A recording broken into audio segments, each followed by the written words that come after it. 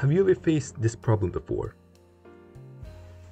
You're building a level for your platformer, but not sure where to place the platforms.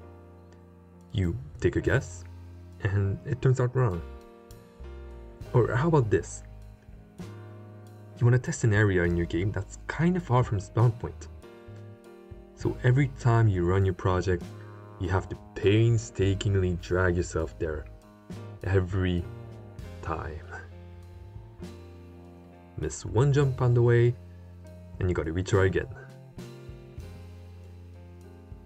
If so, then this video is for you. What you need is to make small and simple tools for yourself only for developing your project. I'll be referring to these as dev tools. And I'll be using this old prototype I made in the Godot game engine to demonstrate their power. First issue I had was that testing was becoming increasingly tedious.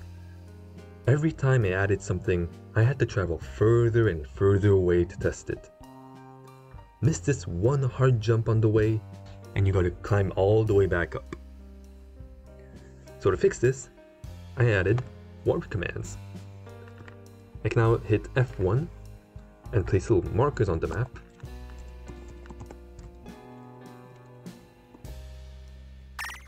And warp to them at will.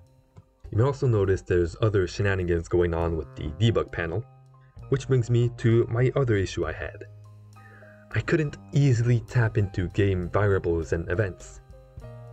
Yes, Godot has a built-in remote, and I do use it sometimes, but oftentimes I want it to be instant, accessible, and not cluttered like this.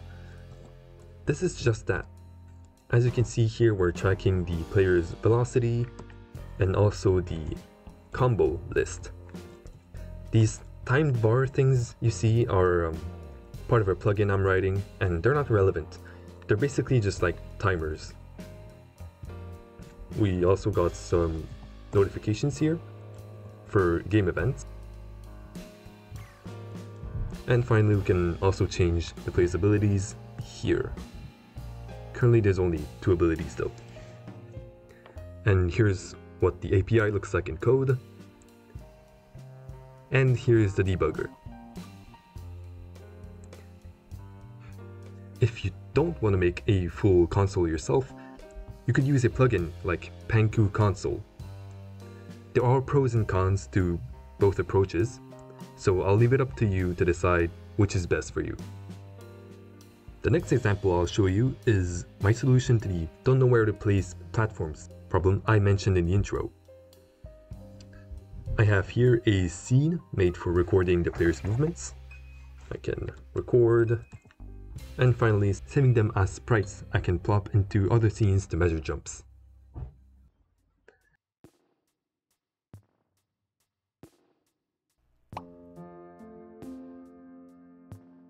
I basically do this by periodically taking a snapshot of the player's sprite into a sub-viewport, then saving the viewport's texture as a PNG. Actually, here's a bonus example camera gizmos that allow me to see the boundaries of the camera at certain zoom levels. Really handy if I want to lock the camera at some positions like uh, you saw earlier. This one's really not complicated, it just makes use of tool scripts and the draw function, which if you don't already know them, you might want to look into. Anyways, making dev tools for yourself can be really handy. All that really matters is that they work for you and your application. I hope you learned something. See you next time.